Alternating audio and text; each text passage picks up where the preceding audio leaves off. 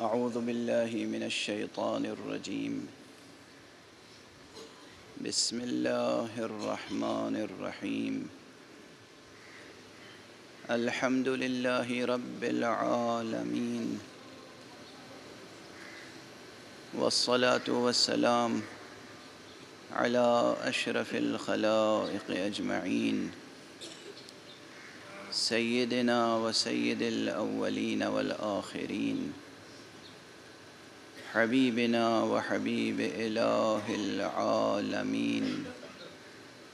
إمام المرسلين وخاتم النبيين أبي القاسم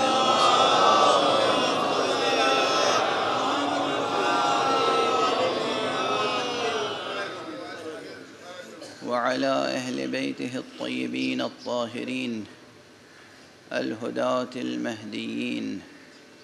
المعصومين المظلومين واللعنة الدائمة على أعداء الدين أجمعين. أما بعد فقد قال الله تعالى عز اسمه في محكم كتابه ومتقن خطابه بسم الله الرحمن الرحيم. الله لا إله إلا هو الحي القيوم. لا تأخذه سنة ولا نوم. له ما في السماوات وما في الأرض. صدق الله العلي العظيم.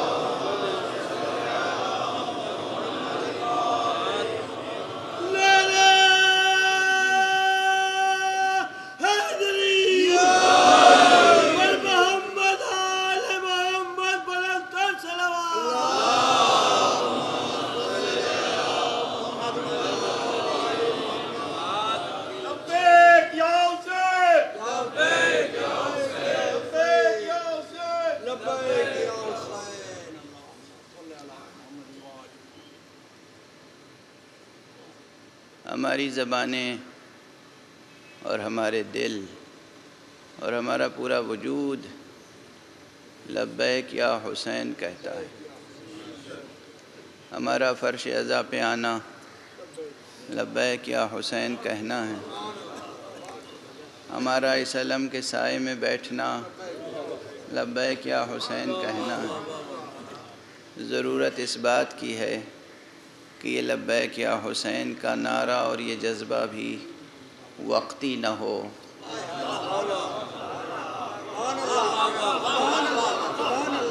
دائمی۔ ہو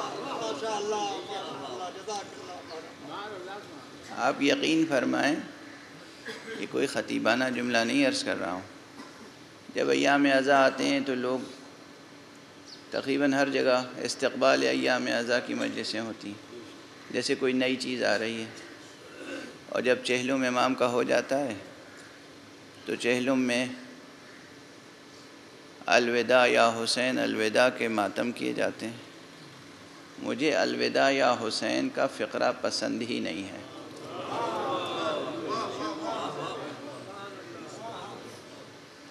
ہم حسین کو نہ اپنے سے جدا کر سکتے ہیں، نہ خود حسین سے جدا ہو سکتے ہیں۔ ہمارا وجود قائم ہے بوسیلہ حسین۔ آج اسلام اگر قائم ہے تو بوسیلہ حسین۔ جن لوگوں کی سمجھ میں یہ بات نہیں آتی ہے، میں دست ادب جوڑ کے یہی کہہ سکتا ہوں کہ سمجھنے کی کوشش کریں۔ سمجھ میں نہیں آتی ہے بات تو سمجھنے کی کوشش کریں۔ حسین، وہ بندہ خدا ہے۔ حسین وہ عبد الہی ہے۔ حسین وہ انسان الہی ہے۔ کہ اب ایک مسلمان اگر حسین کے علاوہ کسی اور سے توحید کا درس حاصل کرے تو وہ درس مکمل نہیں ہو سکتا۔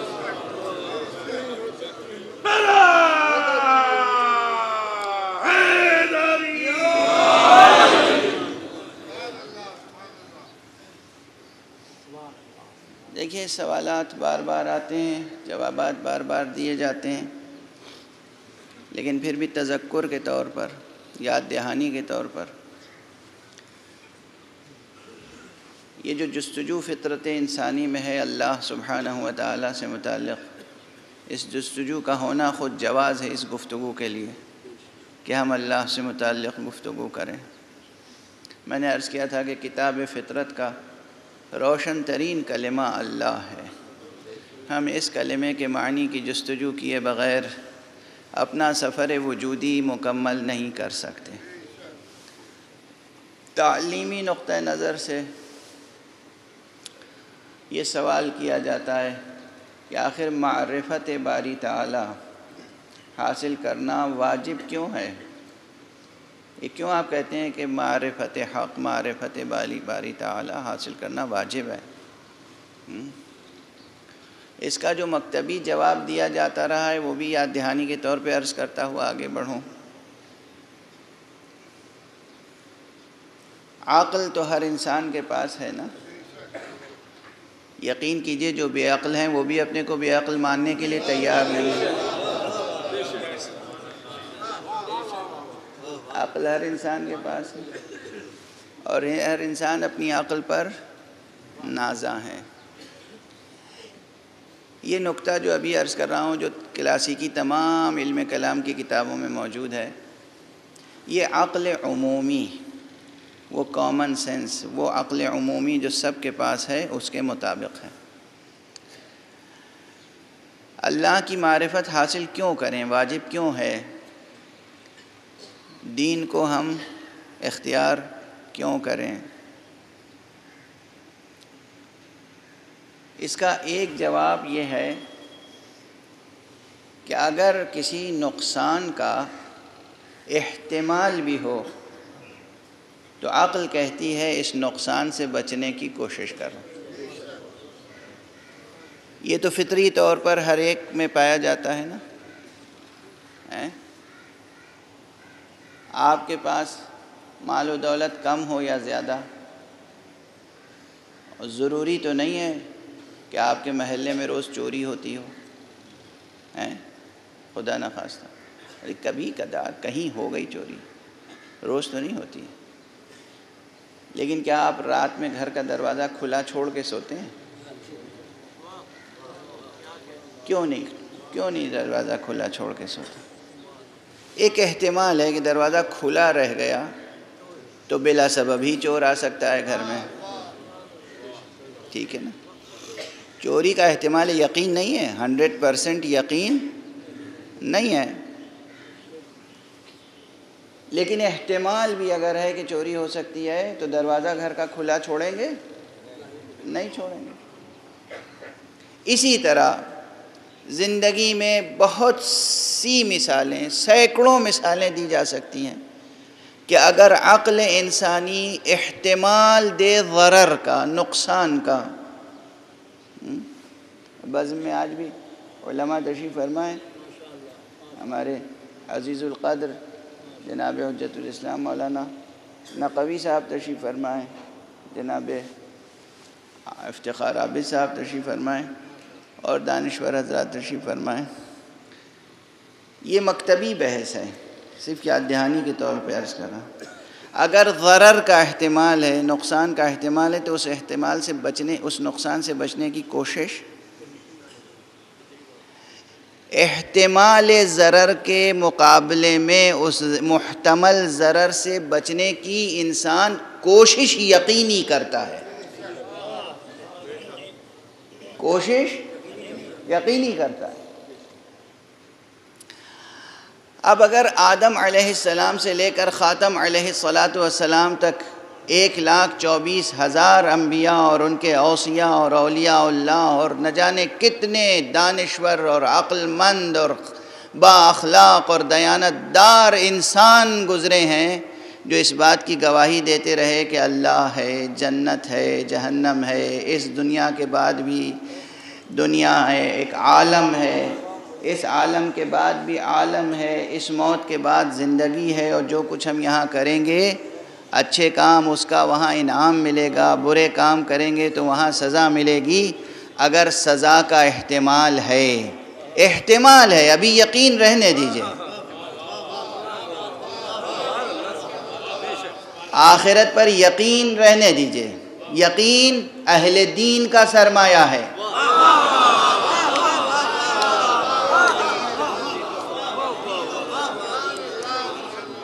یقین، بندگان حق کا سرمایہ ہے، یقین۔ حق شناسوں اور حق پرستوں کا سرمایہ ہے۔ یقین بندگان حق کی قوت ہے۔ یقین بندگان حق کی ذرا ہے۔ یقین بندگان حق کا اسلحہ ہے۔ یقین ان کا سرمایہ ہے۔ عام انسان جو خدا شناس نہیں ہے، جو اپنی عقل پر نازاں ہے، اس کا حض و حصہ احتمال ضرر ہے۔ احتمال احتمال تو ہے۔ احتمال تو ہے۔ یہ احتمال ضرر کہ بھئی مرنے کے بعد اگر واقع جنت ہے، اگر واقع جہنم ہے اور ہم نے جنت و جہنم کا خیال رکھ کر کام یہاں نہیں کیا تو اس وقت کیا ہوگا؟ احتمال تو ہے نا؟ اس احتمال، اگر عقل احتمال رکھتی ہے، احتمال دیتی ہے کہ بھئی یہ ممکن ہے، ایسا ہو، تو اس ضرر سے بچنے کی کوشش کرنی چاہیے۔ یہ وہ دلیل ہے جو قرآن مجید میں بھی نقل کی گئی ہے، روایات میں آئی ہے اور معصومین علیہ الصلاۃ والسلام نے اپنے مناظروں میں بیان فرمایا ہے۔ کہتے ہیں کہ ایک مرتبہ حج میں ایک جم غفیر مجمع حاجیوں کا تھا اور وہاں ایک شخص جو اپنے وقت کا بڑا دانشور تھا اور اہل یقین میں سے نہیں تھا۔ اس نے اپنے ہی جیسے دوسرے شخص کو دیکھا، جسے اپنے علم پر، اپنی دانش پر، اپنے تفکر پر ناز تھا۔ عبداللہ ابن مقفع، اس نے ابن ابل اوجا سے کہا، یہ بھیڑ دیکھ رہے ہو کعبے کے گرد جو طواف کر رہی ہے اس پوری بھیڑ کی کوئی قدر و قیمت نہیں ہے۔ وہ دیکھو، گوشے میں جو ایک شخص بیٹھا ہے وہ تنہا امت ہے۔ یہ ترجمانی میری ہے۔ اس نے کہا بس وہ ایک شخص ہے، جس سے تم گفتگو کر سکتے ہو۔ پلٹ کے دیکھا تو وہ کوئی اور ذات نہیں، حضرت امام ابو عبداللہ جعفر ابن محمد صادق۔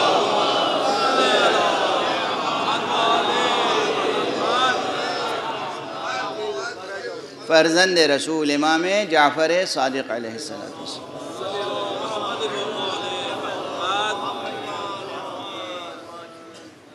کا گفتگو کوئی علمی کرنی ہو تو ان سے کرو۔ باقی انہیں طواف کرنے دو۔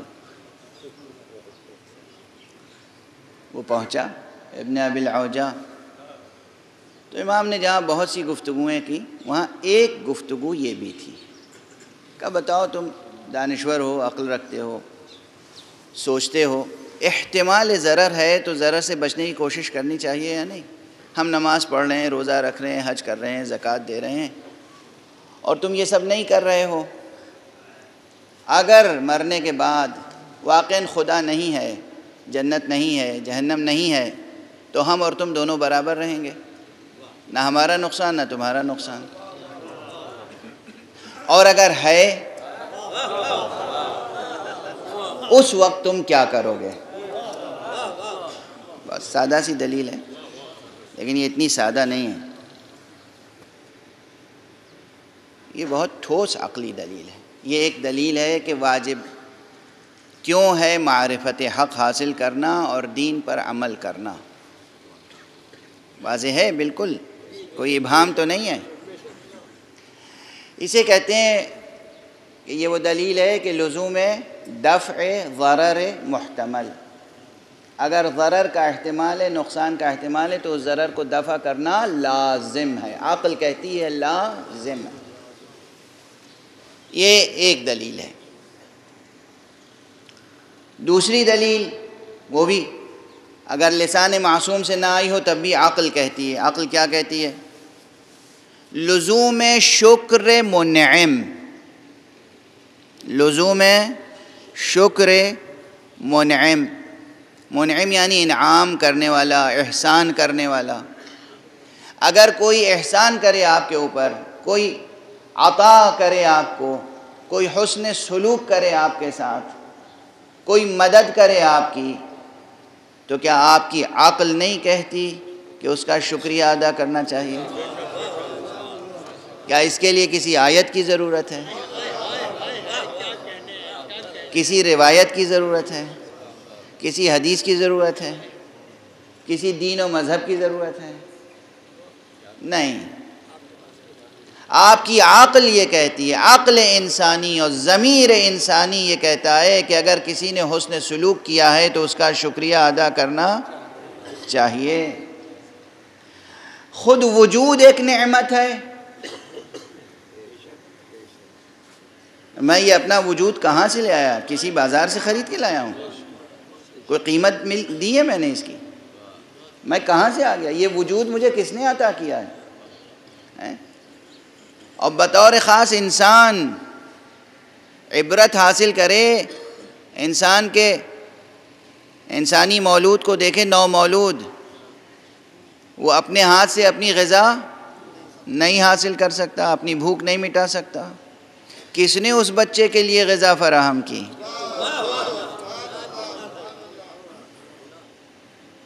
کس نے ماں کے دل میں ممتا رکھی؟ کس نے ماں کے سینے میں غذا رکھی؟ اور جناب والا، یہ تو چھوٹے بچے کی بات ہے۔ اب بڑے آپ ہو گئے، ماشاءاللہ۔ زمین کے سینے میں آپ کی غذا کس نے سونپی؟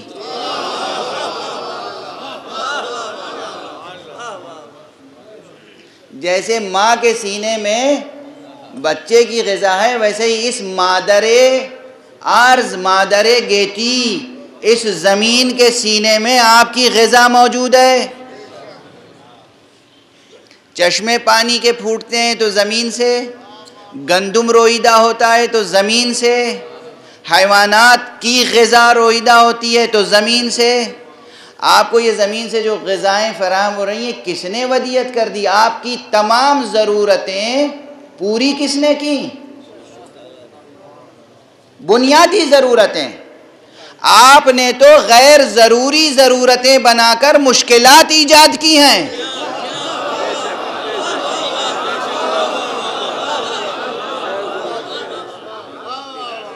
غیر ضروری لوازمات بڑھا کر اپنے لیے درد سر آپ نے مول لیا ہے۔ لیکن جو بنیادی زندگی کی ضرورتیں ہیں وہ کسی نے فراہم کی ہیں؟ تو فراہم کرنے والے کا شکریہ لازم ہے یا لازم نہیں ہے؟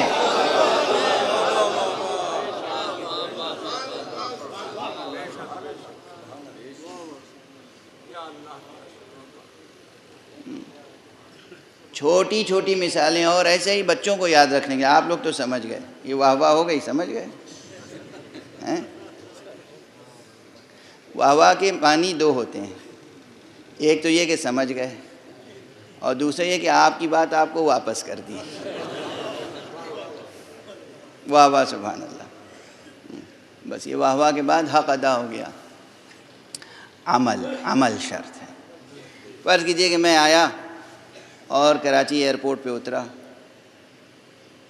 اور میں نے اپنے طور پر کسی کو بتایا نہیں تھا کہ میں آ رہا ہوں۔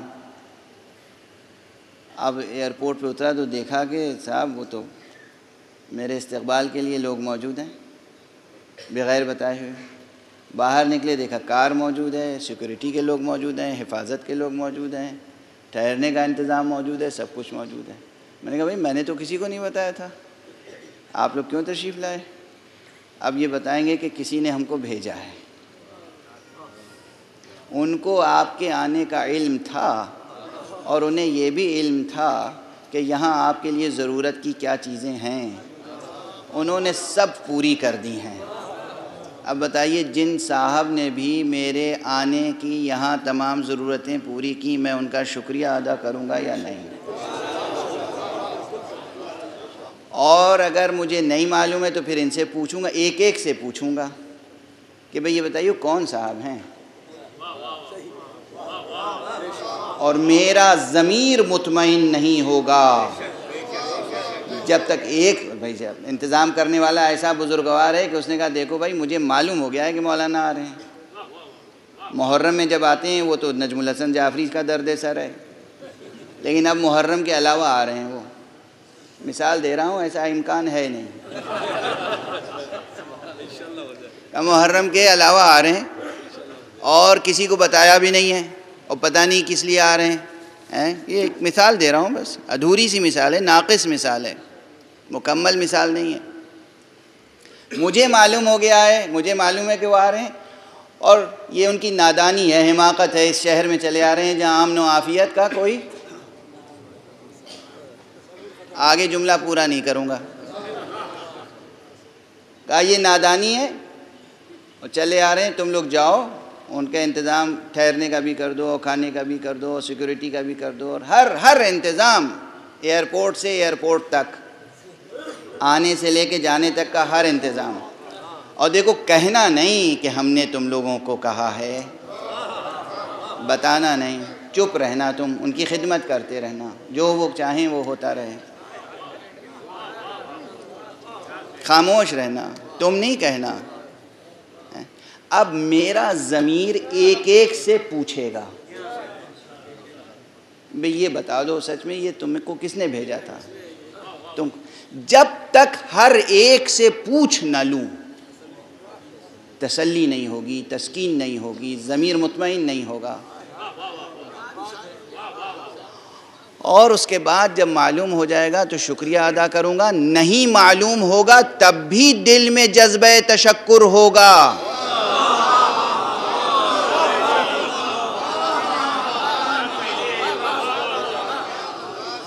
تب بھی اتنا جذبہ ضرور ہوگا۔ کاش معلوم ہو جاتا کہ کون ہے تو میں شکریہ تو ادا کرتا۔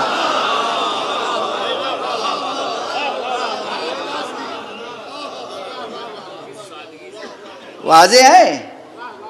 بس ایک انسان عاقل پر ضروری ہے کہ زمین سے آسمان تک اللہ کی تمام نشانیوں کو غور سے دیکھے، ہر نشانی کو پڑھے، ہر نشانی سے مکالمہ کرے، زمینوں سے مکالمہ کرے، آسمانوں سے مکالمہ کرے، ستاروں سے مکالمہ کرے، سیاروں سے مکالمہ کرے، تمام موجودات سے مکالمہ کرے اور کہے، بتاؤ تم کو ہماری خدمت پر کس نے معمور کیا ہے؟ اے سورج، بتا! تجھے ہمارے لیے کس نے مسخر کیا؟ اے چاند، بتا! تجھ کو ہمارے لیے کس نے مسخر کیا؟ ہواؤ، بتاؤ! تمہیں ہمارے لیے سبب زندگی کس نے بنایا؟ اے پانی، تو بتا! ہمارے لیے سبب حیات کس نے بنایا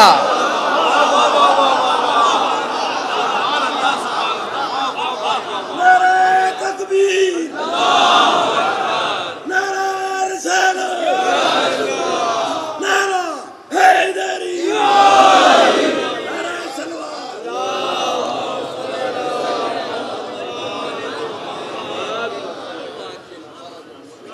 اور جب انسان صدق دل سے، صداقت کے ساتھ، سچائی کے ساتھ ان تمام چیزوں سے دریافت کرے گا کہ بتاؤ تم کو ہماری خدمت کے لیے کس نے معمور کیا؟ زمین بتا۔ یہ میری غذا، تیرے پاس امانت کس نے رکھی؟ میرا بوجھ اٹھانے کے لیے تجھے کس نے معمور کیا؟ آسمان بتا میرے سر پہ تیرا سایہ کس نے برقرار کیا؟ تو خدا کی قسم، ممکنات کا ذرہ ذرہ گواہی دے گا، لا الہ الا اللہ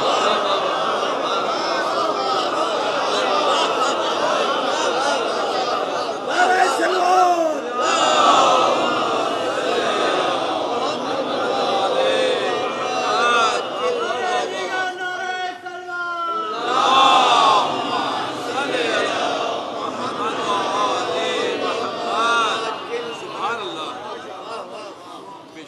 یہی بات قرآن مجید میں کہی گئی ہے کہ ذرہ ذرہ اس کی تسبیح کرتا ہے۔ ذرہ ذرہ اس کی تسبیح کرتا ہے، ذرہ ذرہ اس کی تحمید کرتا ہے۔ کائنات کا ہر، ممکنات کا ہر ذرہ، ہر موجود حق سبحانہ و تعالیٰ کی تسبیح و تقدیس و توحید میں مشغول ہے۔ اللہ یہ انسان۔ انسانوں میں کچھ وہ ہیں جو اللہ کی بندگی کرتے ہیں، دل و جان سے۔ کچھ وہ ہیں جو اللہ کی بندگی کر لیتے ہیں رسمن کچھ وہ ہیں جو اللہ کی بندگی کرتے ہیں مصلحتاً۔ کچھ وہ ہیں جو اللہ کا انکار کرتے ہیں مصلحتاً۔ جی مصلحتاً انکار بھی ہوتا ہے۔ کبھی ہوتا ہے دل میں اعتراف ہے، زبان پہ انکار۔ قرآن مجید میں بھی اس کی مثال ہے اور آج کی تاریخ میں بھی ہے۔ یورپ کے ایک سائنٹسٹ ہیں، زندہ ہیں ابھی۔ میں نے خود ان کا انٹرویو سنا۔ انہوں نے کہیں یہ بات کہہ دی تھی، مورفولوجی کے بہت ماہر اور نامور سائنٹسٹ ہیں۔ سترہ، اٹھارہ سال تک سائنس کی دنیا میں انہوں نے بہت نیک نامی کمائی اور صفحہ اول کے سائنسدانوں میں شمار ہوتے تھے اور ظاہر ہیں۔ لیکن اب سائنس برادری نے ان کو اپنے، اپنی برادری سے نکال دیا۔ کیوں؟ صرف ایک جملہ کہنے پر۔ انہوں نے کہیں اپنے لیکچر میں یہ کہہ دیا کہ دیکھیے ہم لوگ مارفولوجی پہ کام کر رہے ہیں، جینیٹکس پہ کام کر رہے ہیں، لیکن یقین جانیے کسی شے کی آخری شکل و صورت کیا ہوگی اور اس شکل و صورت سے کیا فوائد وابستہ ہوں گے، یہ ڈٹرمن کرنے والی کوئی اور ہی ذات ہے۔ ایک سادہ سا معصومانہ اعتراف تھا۔ ایک سادہ سا اعتراف تھا، فطری اعتراف۔ سائنس برادری نے کہا کہ یہ تو ہیریٹک ہو گئے، دقیانوسی ہو گئے، یہ کیا باتیں کرنے لگے خدا کی؟ وہی آیت یاد کیجیے گا، انہم کانو اذا قیل لهم لا الہ الا اللہ یستکبرون۔ ایک شخص نے کہہ دیا کہ یہ ڈیٹرمن کرنے والی ذات کوئی اور ہے، سب کے سب کہنے لگے، ہم سائنسداں ہیں، ہمارے سامنے خدا کا ذکر کرتے ہو۔ سائنسداں کے سامنے خدا کا ذکر۔ یہ ہے سائنسداں کا تکبر۔ توجہ۔ ہے تو اس شخص نے کیا کہا معلوم ہے؟ بعد میں ظاہر ہے، برادری نے ان کو برادری سے باہر کر دیا۔ اب انہوں نے دوسرے انٹرویو میں کہا، بتائی اپنی رودات کہا دیکھو بھائی، ہم سے ایک غلطی ہوئی ہے۔ ہم ابھی ریٹائر نہیں ہوئے تھے، ابھی ہماری سروس کے کئی کئی سال باقی تھے۔ ممکن تھا کہ ہمیں ہماری ڈسکوریز پر نوبل پرائز بھی مل جاتا اور سب کچھ ہوتا، لیکن یہ سب غارت ہو گیا اس لیے کہ ہم نے آفیشلی خدا کا اعتراف کر لیا۔ ورنہ ہوتا یہ ہے کہ لوگ ڈرائنگ روم میں بیٹھ کر تو تھینک گاڈ تھینک گاڈ کہتے ہیں، لیکن آفیشلی اعتراف نہیں کرتے۔ دل میں خدا ہے، زبان سے انکار ہے۔ دل میں خدا ہے، زبان سے انکار ہے۔ جب ریٹائر ہو جاتے ہیں، بوڑھے ہو جاتے ہیں، تو سب وہی کہتے ہیں جو میں نے بھی کہا ہے۔ لیکن میں نے ذرا پہلے کہہ دیا، بے موقع کہہ دیا، بے محل کہہ دیا۔ اس لیے مجھے سائنس کی برادری سے نکال دیا گیا۔ ڈاکٹر روپرٹ شیلڈریک کا یہ بیان ہے، موجود ہے۔ تو صورتحال یہ کہ کوئی مسلحتاً بندگی کرتا ہے، کوئی مسلحتاً انکار۔ توجہ ہے۔ اب یہ بڑا عجیب و غریب مرحلہ ہے کہ ماضی کی تاریخ اگر جائزہ لیا جائے، علم تاریخ کو اگر قرآن مجید کی روشنی میں مرتب کیا جائے کہ کس نے واقعاً اللہ کا کلمہ پڑھا اور کس نے مسلحتاً اور یہ دریافت کرنا بھی ضروری ہے۔ غیر ضروری نہیں ہے۔ کیونکہ جس نے سچے دل سے کلمہ پڑھا، وہ جب بھی بات کرے گا تو توحید کی۔ جس نے مسلحتاً پڑھا، وہ جب بھی بات کرے گا تو اپنی مسلحت کی۔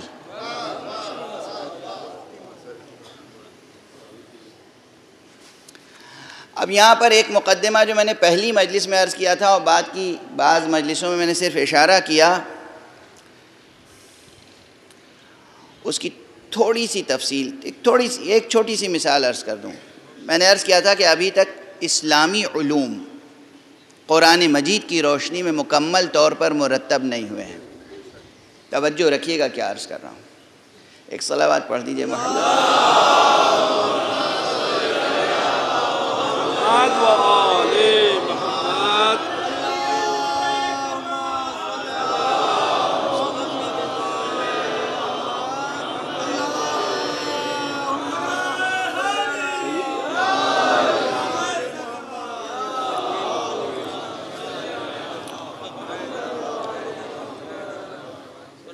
ایک اور صلوات پڑھ دیجیے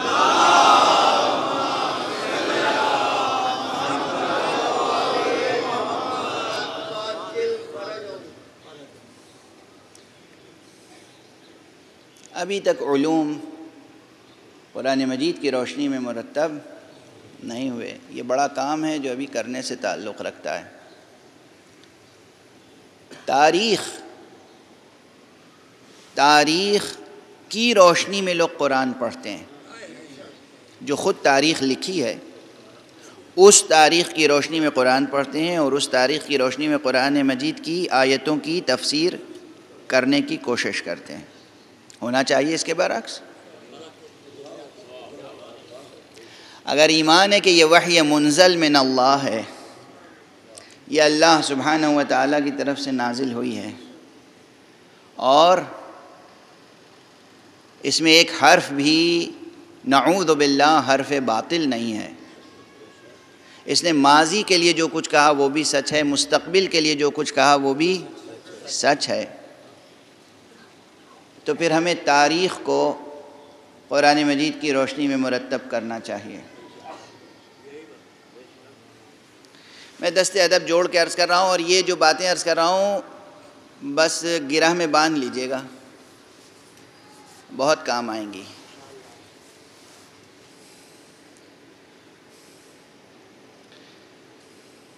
ایک اور سلوات پڑھ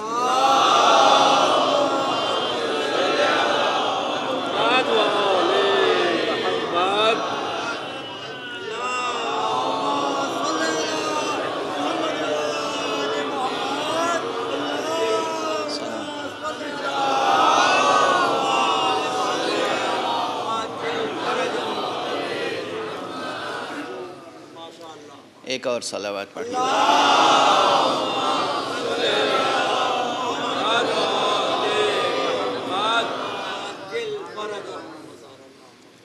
دیکھیے، دو مسئلے ہیں جو تاریخ سے تعلق رکھتے ہیں۔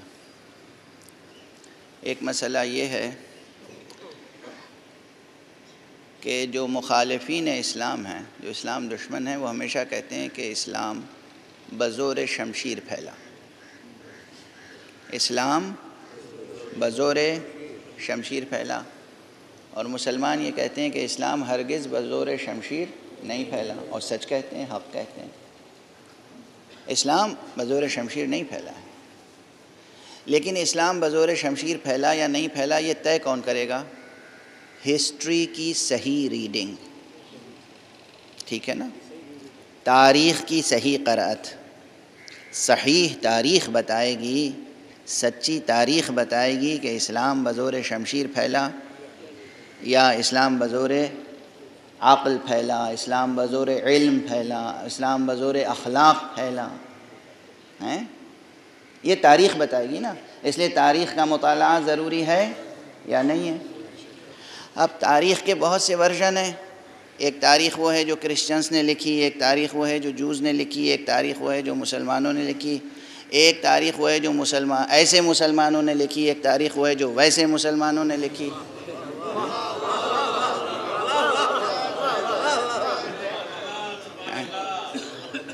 ایک تاریخ وہ ہے جو ایسے دانشوروں نے لکھی، ایک تاریخ وہ ہے جو ویسے دانشوروں نے لکھی۔ سمجھ رہے ہیں نا آپ؟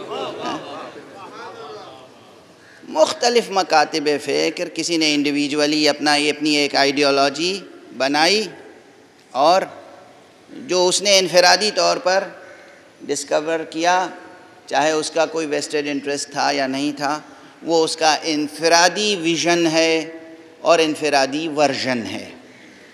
کہیں کلیکٹیو اپروچ ہوا اور اس کمیٹی کا یا اس جمعیت کا اپنا کوئی ویسٹڈ انٹرسٹ تھا یا نہیں تھا، جو بھی تھا، بہرحال اتنے ورژن تاریخ کے ہیں کہ ایک طرف مسلم دشمن اور اسلام دشمن دنیا مسلسل یہ دہراتی رہتی ہے اعتراض کہ اسلام بزور شمشیر پھیلا اور مسلمان یہ کہتے رہتے ہیں کہ اسلام بزور شمشیر نہیں پھیلا۔ تو یہ مسئلہ طے کون کرے گا؟ صحیح تاریخ۔ اور مثالیں دے دوں۔ لیکن اس مسئلے پہ ایک مثال دے دوں۔ تحقیق کیجیے گا۔ جوانان عزیز، بطور خاص آپ جو انٹرنیٹ پر براؤز کرتے رہتے ہیں، ذرا دیکھیے گا۔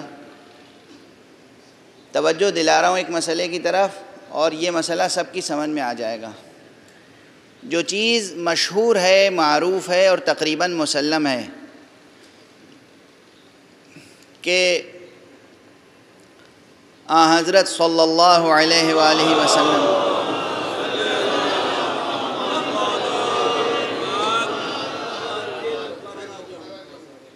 نے اپنی حیات طیبہ میں تقریباً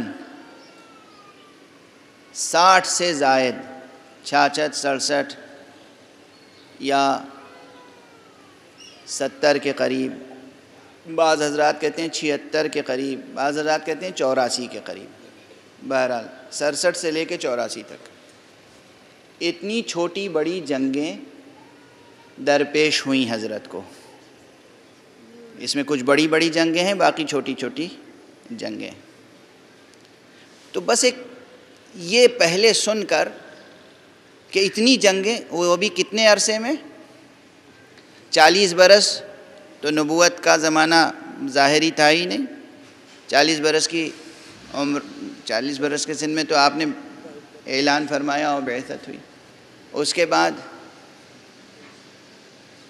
مکے کا زمانہ، اس میں کوئی جنگ نہیں ہوئی۔ مدینہ کے زمانے میں یعنی تقریباً دس سال کے عرصے میں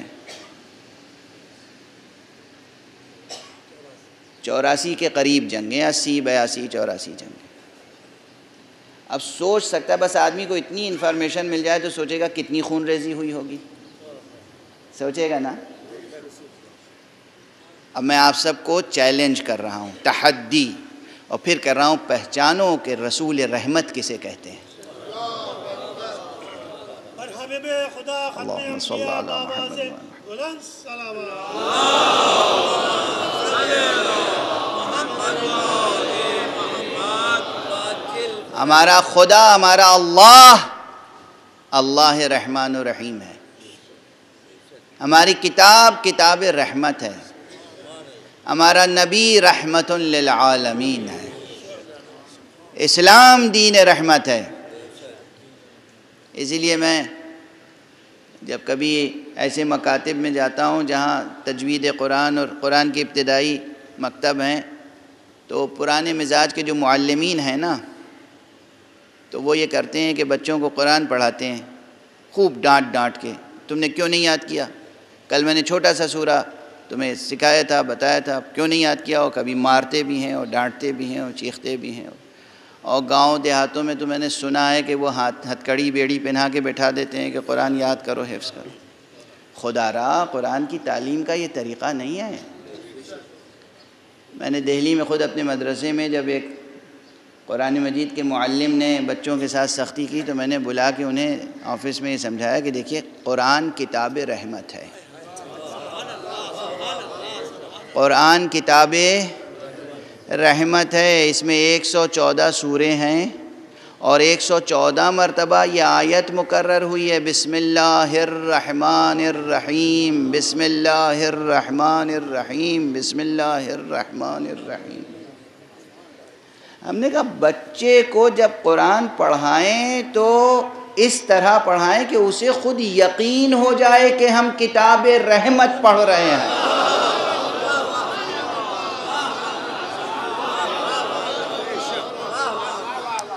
میں ہاتھ جوڑ کے عرض کر رہا ہوں، جہاں بھی دور دراز تک میری آواز آ رہی ہے، جہاں بھی لوگ قرآن پڑھاتے ہیں، جو قرآن پڑھاتے ہیں، جو معلمین قرآن ہیں جو قرآن پڑھاتے ہیں، ناظرہ یا حافظہ کراتے ہیں، حافظ بناتے ہیں، تجوید سکھاتے ہیں۔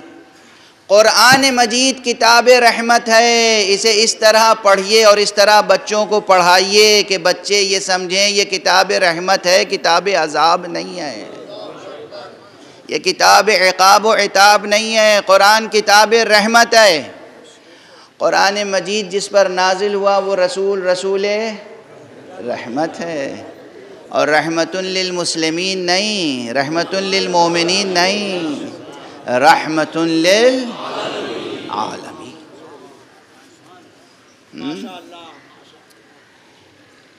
تو کتاب کتاب رحمت ہے، رسول رسول رحمت ہے۔ ایک سو، تقریباً چوراسی جنگیں تو ضرور ہوئیں، اسی چوراسی جنگیں ہوئیں، لیکن آپ یقین کریں گے کہ ان تمام جنگوں میں صرف نو جنگیں ہیں جن میں خون ریزی کی نوبت آئی۔ باقی تمام جنگوں میں رسول کی رحمت یا حیبت کارگر رہی بس۔ غور کر غور کر غور کر۔ یاد رکھیے گا یہ سب بات، یہ بار بار دہرانے کی ہے۔ یہ بار بار اسی بیاسی جنگوں میں، چوراسی جنگوں میں صرف نو جنگیں ہیں جس میں خون ریزی ہوئی۔ باقی سب میں یا رسول کا اخلاق کام آیا، یا رسول کا استدلال کام آیا، یا رسول کی رحمت کام آئی؟ محمد اور آل محمد نام ہی ان ہستیوں کا ہے جو تلوار کی دھار کو اخلاق کی چوٹ سے موڑ دیتے ہیں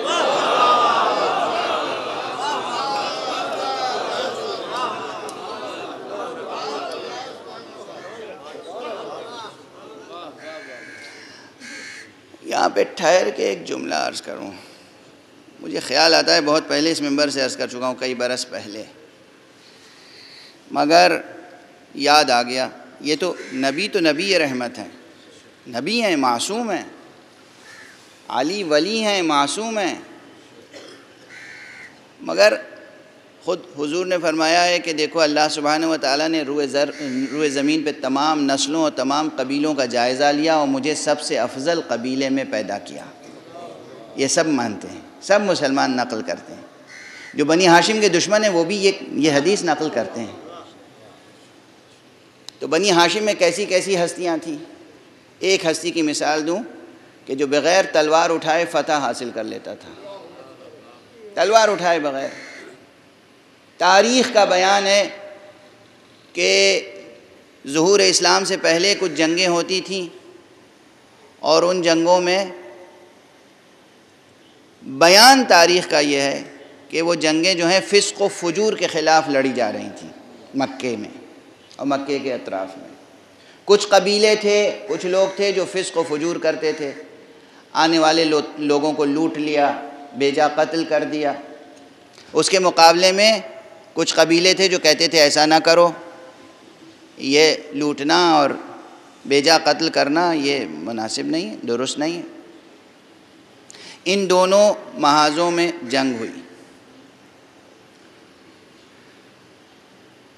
یہ گروہ جو کہتا تھا فسق و فجور کے خلاف جو جنگ کر رہا تھا، یہ گروہ، اس گروہ کا بیان ہے تاریخ میں کہ ابو طالب ہمارے ساتھ ہوتے تھے۔ کون عم نبی، ناصر رسول، حضرت ابو طالب علیہ السلام۔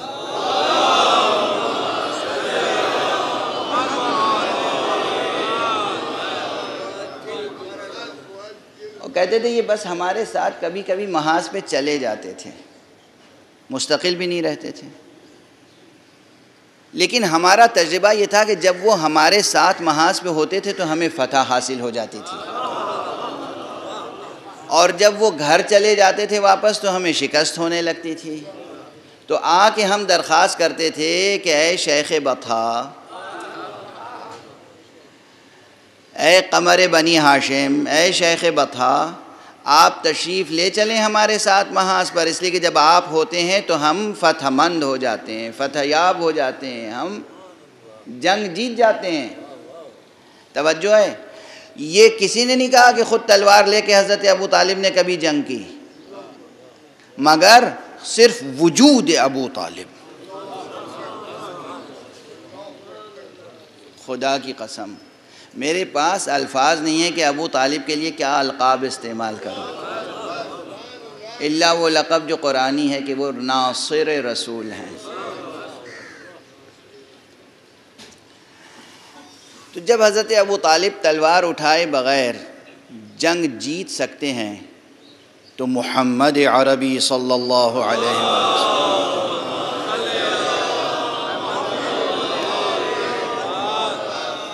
نبی برحق، رسول خاتم اور رحم، نبی رحمت۔ چنانچہ یہ اسی چوراسی جنگوں میں صرف نو جنگیں وہ ہیں جن میں خون ریزی کی نوبت آئی، ورنہ اکثر صرف حضرت کا پیغام یا اخلاق یا کردار یا کوئی تدبیر یا حیبت کام آ گئی اور جنگ سر ہو گئی۔ اچھا اب یہ نو جنگیں جن میں خون ریزی ہوئی ہے، ان میں کتنی ہوئی ہوگی؟ نو جنگیں بھی بڑی بڑی جنگیں آپ سمجھتے ہیں۔ کتنی ہوئی ہوگی؟ کچھ اندازہ ہے؟ اب میں بیان کروں گا تو آپ کو حیرت ہوگی۔ تاریخ کے مبالغوں کو اگر شمار کریں تو زیادہ سے زیادہ تمام جنگوں میں مبالغوں کو اور غلط رپورٹس جو جو بڑھا چڑھا کر دشمنوں نے لکھی ہیں کہ محمد نے اتنی جانیں لے لیں صلی اللہ علیہ وآلہ وسلم۔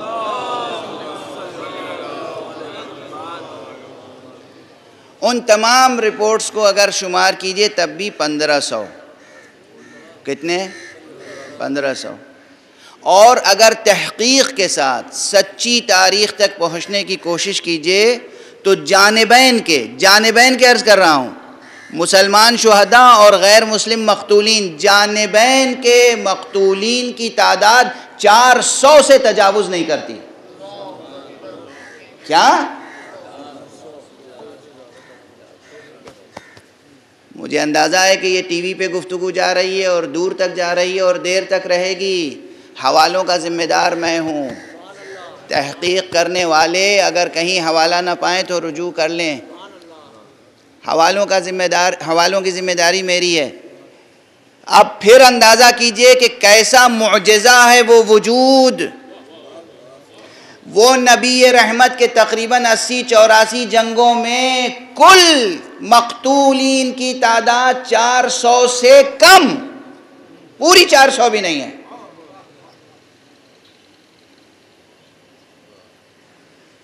اب اگر تاریخ یہ پڑھی جائے اور دہرائی جاتی رہے تو کیا کسی میں ہمت ہے کہ یہ کہے کہ اسلام بزور شمشیر پھیلا ہے؟ توجہ ہے؟ وقت گزر گیا اور آج طبیعت بیان میں بار بار رکاوٹ پیدا کر رہی ہے۔ دیکھیے اسلام کیا ہے، اسلام کی تاریخ کیا ہے۔ ایک صلوات پڑھ دیجیے محمد۔ ایک اور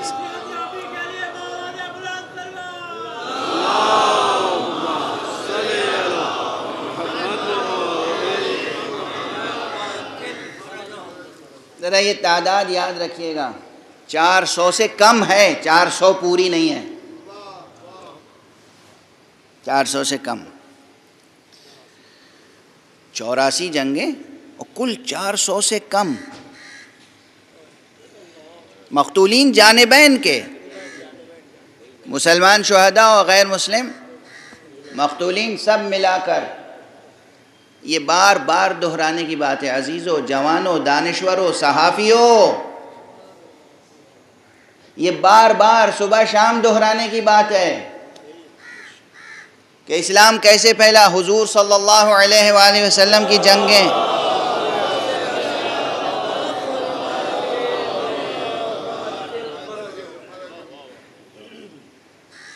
ٹھیک ہے؟ یہ ایک مسئلہ ہے۔ ایک مسئلے کی طرف اور اشارہ کروں۔ لیکن دل کھول کے اور ذہن کھول کے سننے کی کوشش کیجیے گا۔ ایک چیز میں فرق کرنا بہت ضروری ہے تاریخ کے معاملے میں۔ قرآن نے خود فرق کیا ہے۔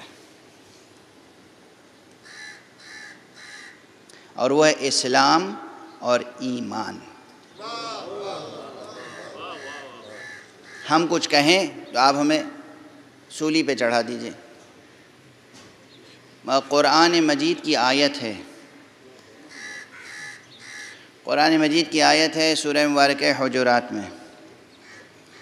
قالت العراب آمنا، قل لم تؤمنوا، ولكن قولوا اسلمنا ولما يدخل الایمان فی قلوبکم یہ عراب یہ سب آ کے آپ سے کہتے ہیں کہ ہم ایمان لائے۔ آپ کہیے نہیں، تم ایمان نہیں لائے ہو، بلکہ کہو کہ تم مسلمان ہو گئے ہو۔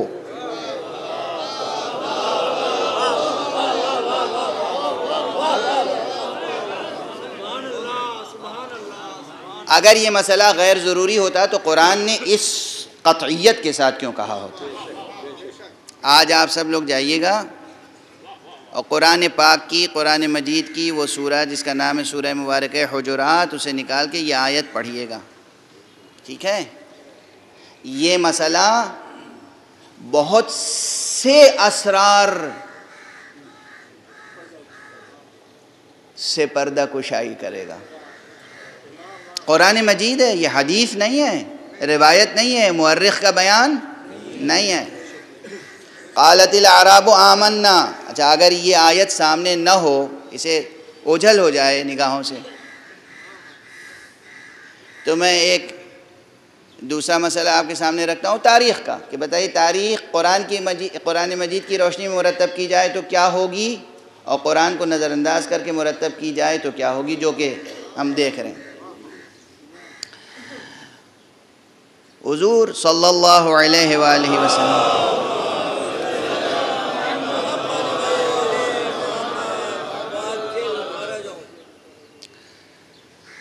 کے اوپر سورہ یاسین کہاں نازل ہوا تھا؟ سورہ یاسین مدنی سورہ ہے یا مکی؟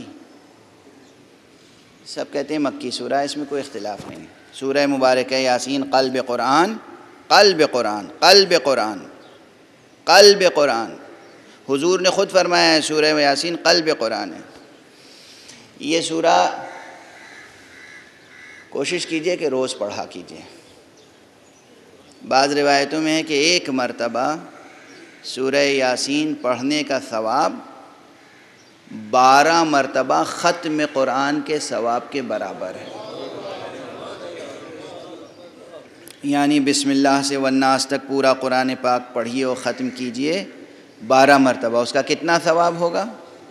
وہ ثواب اللہ سبحانہ و تعالیٰ عطا فرماتا ایک بار سورہ یاسین کی تلاوت کرنے سے۔ اور پھر سورہ مبارک یاسین کی تلاوت کے اور بہت سے فوائد ہیں، برکات ہیں، علمی اور عملی، دنیاوی اور اخروی۔ ایک صاحب بہت پریشان حال رہا کرتے تھے، میں بھول نہیں سکتا یہ واقعہ کبھی۔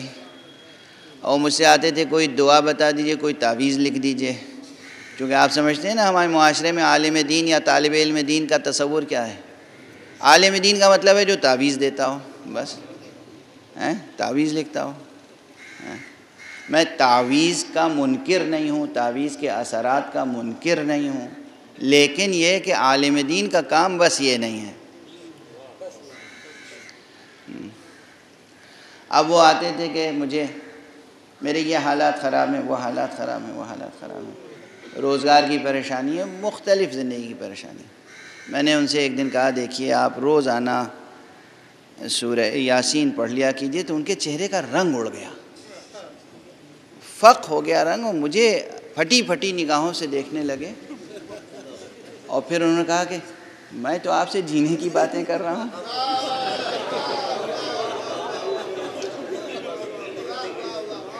مجھے بھی جینا ہے۔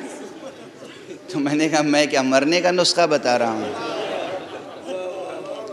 دیکھیے، یہ ہمارے معاشرے کے بہت سے لوگوں کی جہالت، نادانی۔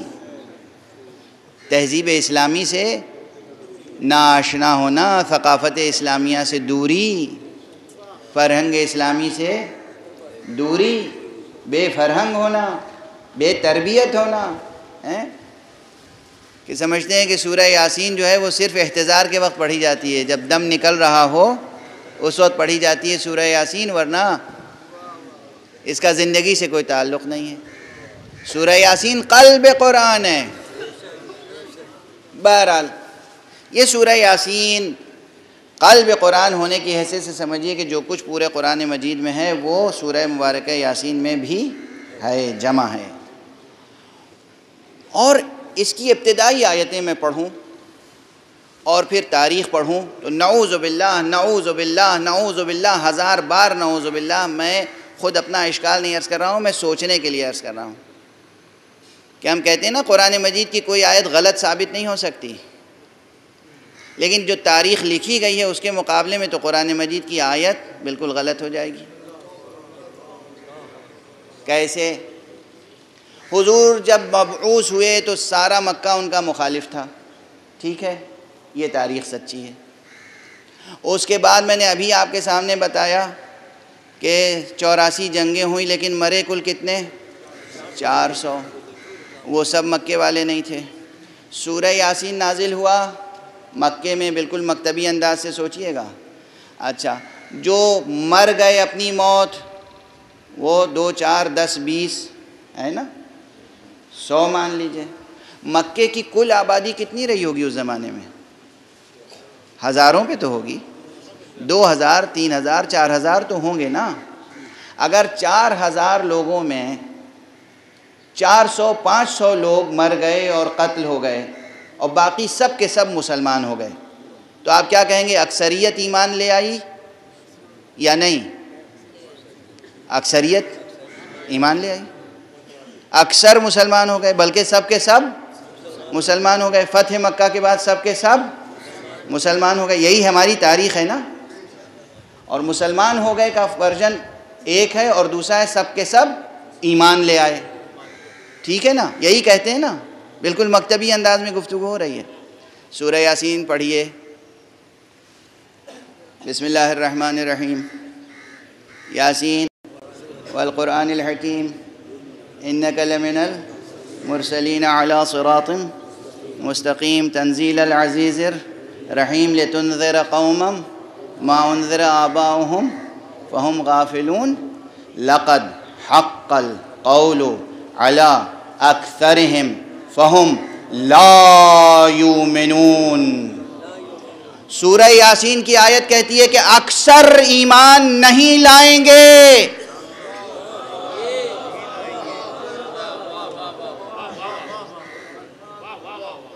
قرآن کی آیت کہہ رہی ہیں ان پر ہمارا قول ثابت ہو چکا ہے، ان میں سے اکثر ایمان نہیں لائیں گے، اکثر ہم لقد حق القول على اکثرهم فهم لا يؤمنون لا يؤمنون خدا کہہ رہا ہے لا يؤمنون اکثر ایمان نہیں لائیں گے۔ ہمارا مورخ کہتا ہے سب ایمان لے آئے۔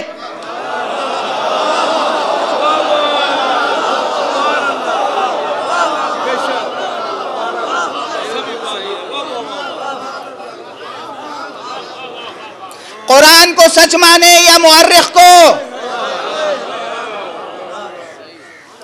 قرآن کو سچ مانے یا مورخ کو؟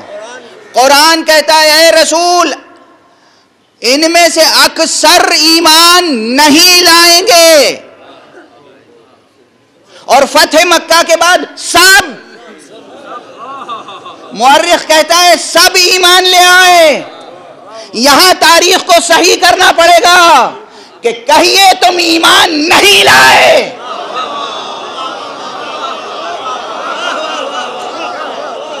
بلکہ ایمان تمہارے دل میں داخل بھی نہیں ہوا۔ ارے تم تو مجبوراً مسلمان ہو گئے۔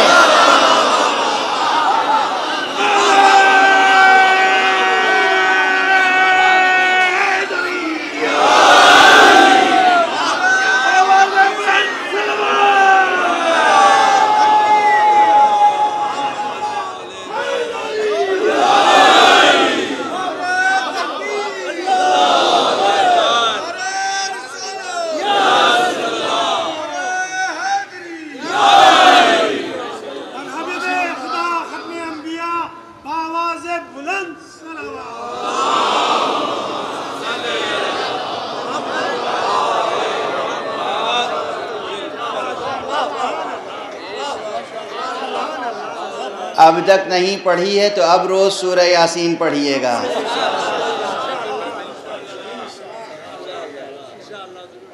سورہ یاسین۔ اب ایک جملہ کہہ رہا ہوں۔ جوانوں، عزیزوں، طالب علموں، علم کی جستجو رکھنے والوں، سورہ مبارک یاسین تنہا اس سورے میں، علوم بشری اور علوم عقلی حکیمانہ علوم اور علوم ادبیہ ان تمام علوم کا ذخیرہ ہے۔ تاریخ کی تصحیح کرنی ہو تو سورہ یاسین سے مدد لو۔ Science, physics, chemistry, geography, geology ان تمام علوم کی تصحیح کرنی ہو تو سورہ یاسین سے مدد لو۔ مبالغہ نہیں کر رہا ہوں۔ کبھی زندگی نے وفا کی تو اس نقطۂ نظر سے سورہ یاسین کی تفسیر پہ گفتگو ہوگی۔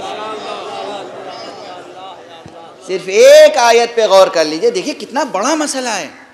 اور پہچاننا ضروری ہے یا نہیں؟ چہروں کا پہچاننا ضروری ہے یا نہیں کہ کون مومن ہے، کون مسلم؟ ہمارا علم کلام، ہمارا علم کلام، مسلمان علم کلام، مسلمان علم اخلاق، مسلمان محدثین کہتے ہیں کہ سنیے، آپ اپنی زبان بند رکھیے گا۔ آپ سب کو کہیے رضی اللہ تعالیٰ عنہ، سب کا احترام کیجیے برابر سے۔ جس نے رسول کو دیکھ لیا، رسول کی زندگی میں ایمان لیا یا کلمہ پڑھ لیا، وہ سب ہمارے لیے محترم ہیں۔ قرآن مجید روکتا کیوں ہے؟ ٹوکتا کیوں ہے؟ قرآن مجید کیوں کہہ رہا ہے؟ قالت العراب آمنا۔ یہ کہہ رہے ہیں، ہم ایمان لے آئے۔ قل لم تؤمنو کہیے، تم ایمان نہیں لائے۔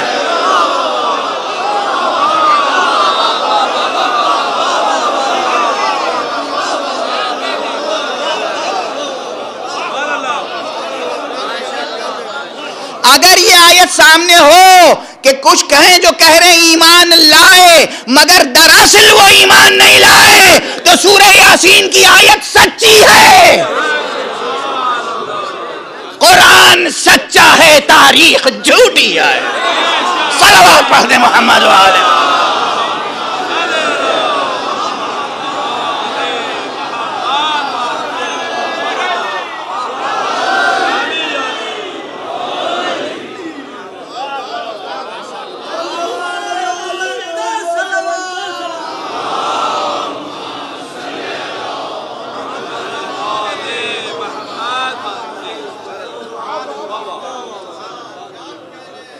قرآن۔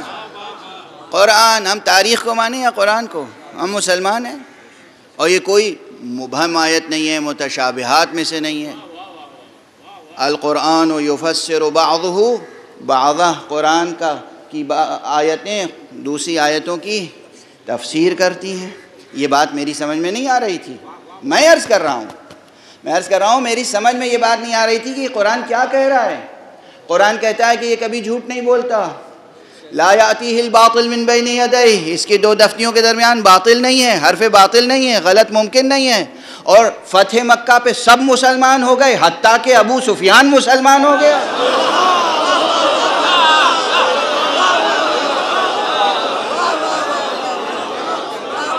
سب مسلمان ہو گئے، سب مسلمان ہو گئے۔ کوئی نہیں بچا جو مسلمان نہ ہوا، پورا مکہ مسلمان ہو گیا۔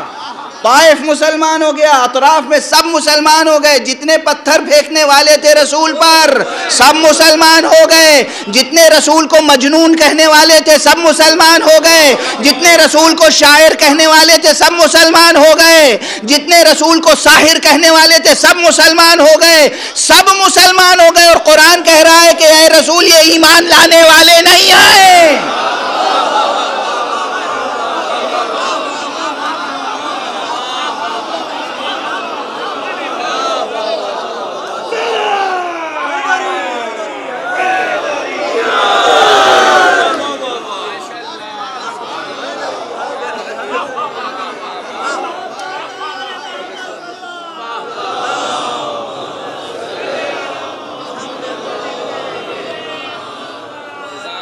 سورہ یاسین سے پہنچا سورہ حجرات پر اور جب میں نے اللہ کا یہ کلام پڑھا، قالت العراب آمنا، عراب کہتے ہیں ہم ایمان لے آئے۔ قل لم تؤمنو کہہ دیجیے تم ایمان نہیں لائے۔ دو دو چار۔ شاید نہیں۔ تم شاید ایمان نہیں لائے، نہیں۔ تم ایمان نہیں لائے، بلکہ اور سراحت ولیکن قولو، بلکہ تم یہ کہو اسلمنا ہم اسلام لے آئے۔ یہیں پر آیت نہیں رکی، وَلَمَّا يَدْخُلِ الْإِيمَانُ فِي قُلُوبِكُمْ، اور ایمان تمہارے دلوں میں داخل نہیں ہوا۔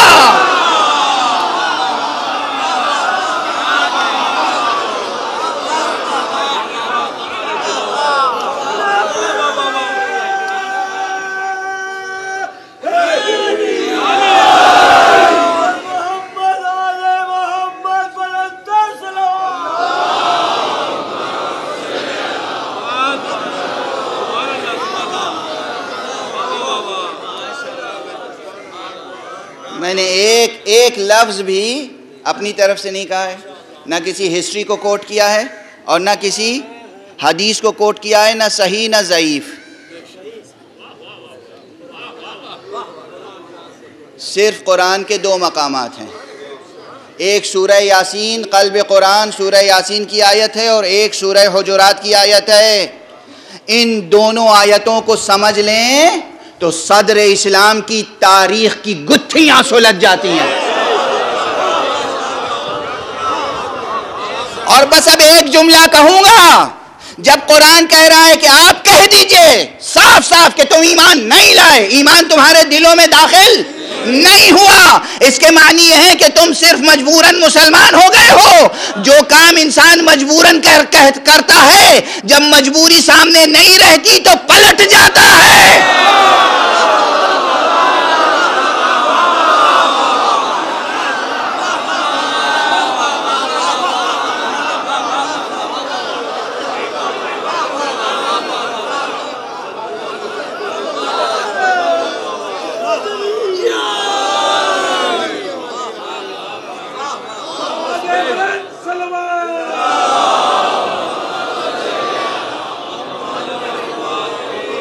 ہم اصول کافی کی کوئی روایت پڑھیں تو ہمارا گریبان پکڑتے ہو، ہم آیت پڑھ رہے ہیں قرآن کی۔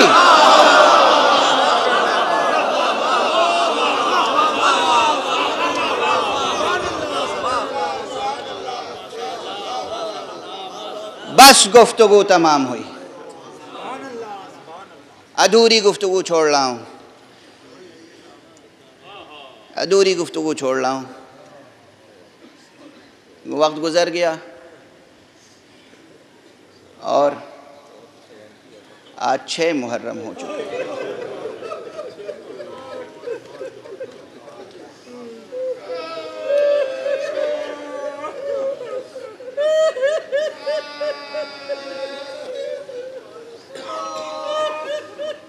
کربلا کا واقعہ کیوں پیش آیا؟ چونکہ اکثریت ایمان نہیں لائی تھی۔ تو وہ محمد اور آل محمد سے انتقام لینا چاہتی تھی۔ رسول اللہ کی تلوار سے، علی کی تلوار سے، اسلام کی تلوار سے، اللہ کی تلوار سے جو لوگ بدر میں قتل ہوئے تھے عہد میں قتل ہوئے تھے ان کا انتقام لینے کے لیے کربلا برپا کی گئی۔ شرم نہیں آتی ان مسلمانوں کو۔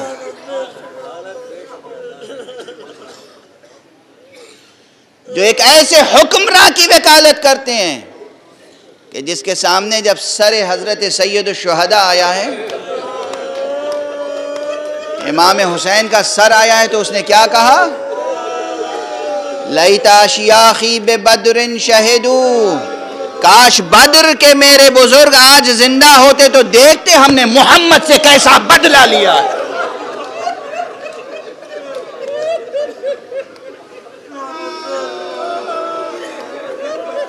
آج بعض لوگ ایسے ہیں جن کے نام کے ساتھ سید بھی لگا ہوا ہے۔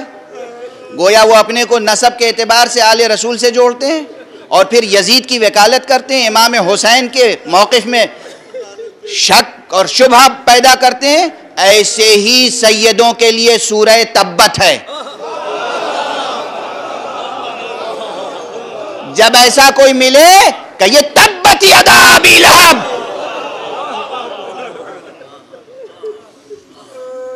تبت یدا ابی لہب ابو لہب، بنی ہاشم سے تھا مگر رسول کا دشمن تھا، تم بھی بنی ہاشم سے ہو مگر رسول کے دشمن ہو۔ اس ہستی کے موقف میں شبہ پیدا کرتے ہو جس کے لیے رسول نے کہا، حسین و منی وانا من حسین۔ اس کے برابر کی کوئی حدیث ہے یزید کے لیے؟ اس کے لیے رسول نے کہا، الحسن والحسین سیدہ شباب اہل الجنہ۔ کیا عقل ہے، کیا منطق ہے؟ ایک طرف یہ حدیثیں نقل کرتے ہیں، دوسری طرف کہتے ہیں حسین نے غلطی کی مسجد کی صفوں سے مقتل کی طرف سے بس گفتگو کو ختم کرنے دیجیے آج چھ محرم ہو گئی۔ آج کس کی یاد میں آپ آنسو بہاتے حسین خود آیت خدا ہے اور حسین کے ساتھ ایک آیت مصطفیٰ ہے۔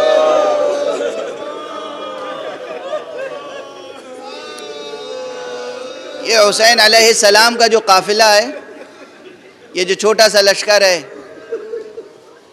اس لشکر میں، اس قافلے میں کون کون ہستیاں ہیں؟ بس اب طاقت نہیں ہے۔ دو جملے کہوں گا، آپ ماتم کا حق ادا کریں گے۔ ایک وہ ہستی ہے جس کا نام ہے علی اکبر۔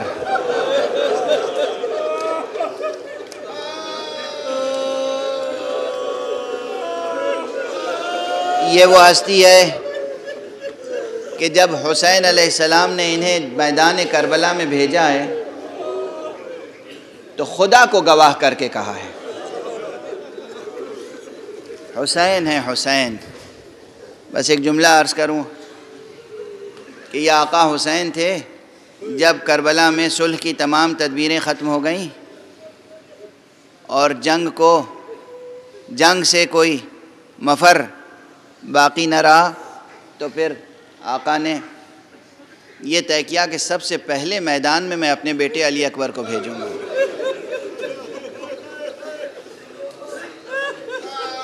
یہ سن کے اصحاب تڑپ گئے۔ کہا، یہ کیسے ممکن ہے کہ ہم باقی رہیں اور آپ کا بیٹا فرزند رسول آپ کا بیٹا، وہ بیٹا جو شبی ہے رسول ہے، وہ میدان میں چلے یہ ممکن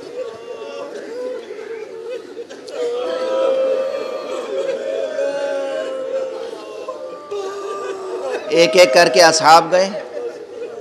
اور اس کے بعد بہت سے مورخین نے یہ بات لکھی۔ ہے جب اصحاب کی فہرست تمام ہو گئی، اب صرف اٹھارہ بنی ہاشم رہ گئے۔ ان اٹھارہ بنی ہاشم میں بھی حسین نے سب سے پہلے اپنے بیٹے کو بھیجا ہے۔ تاریخ یہ کہتی ہے۔ لیکن جب بھیجا ہے تو ایک خاص انداز سے بھیجا ہے۔ جب علی اکبر بابا سے رخصت ہو رہے تھے تو آقا نے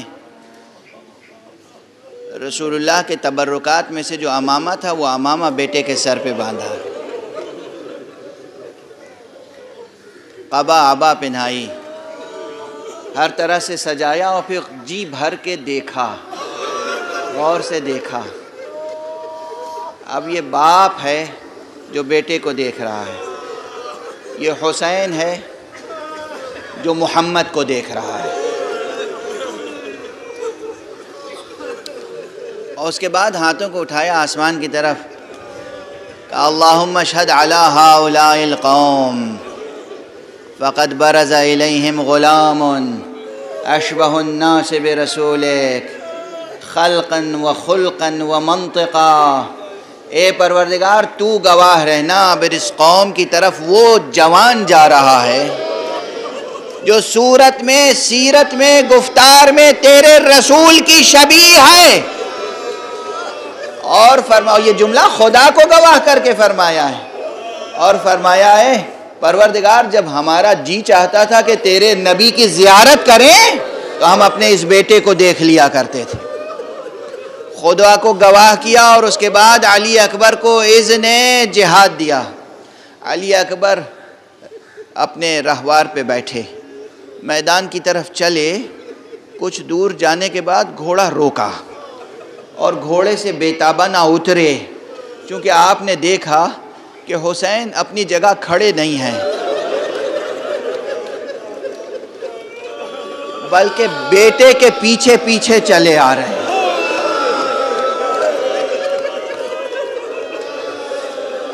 بیٹے نے آ کے پھر دس بوسی کی، قدم بوسی کی، آقا، بابا، فرزند رسول، یہ طریقہ تو آپ نے کسی کے لیے اختیار نہیں کیا۔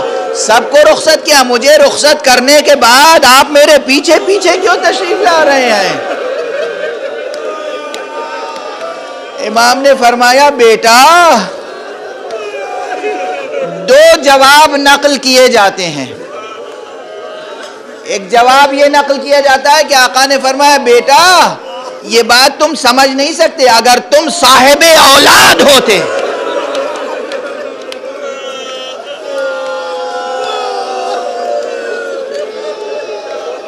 تو اس بات کا سمجھنا مشکل نہ ہوتا۔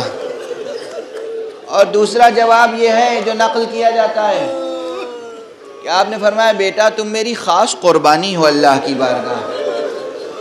جب کوئی قربانی اللہ کی بارگاہ میں پیش کی جاتی ہے تو قربانی آگے آگے ہوتی ہے، قربانی پیش کرنے والا پیچھے پیچھے ہوتا۔ ہے علی اکبر حسین کی خاص قربانی کا نام ہے۔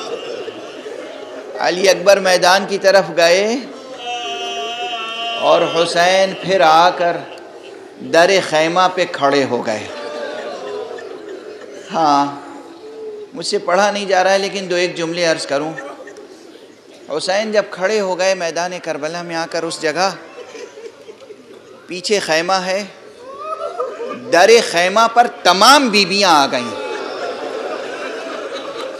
لیلا، رباب، زینب، ام کلثوم ساری بیبیاں در خیمہ پر ہیں۔ پردہ ہٹا ہٹا کر دیکھ کیا رہی ہیں؟ حسین کا چہرہ۔ حسین کا چہرہ کہ حسین امام ہے حجت خدا ہے مگر باپ کا دل بھی سینے میں موجود ہے۔ جوان بیٹے پر کوئی وقت آئے گا تو باپ کے چہرے سے نمایاں ہو جائے گا۔ اور بس اب آخری جملہ عرض کر رہا ہوں۔ ایک مرتبہ جوان بیٹے کی آواز آئی، یا بتا علیکہ من السلام، بابا پر میرا آخری سلام۔ حسین کے چہرے کا رنگ متغیر ہوا۔ بیویوں نے، واہ علیہ، واہ محمد واہ اکبر کا نعرہ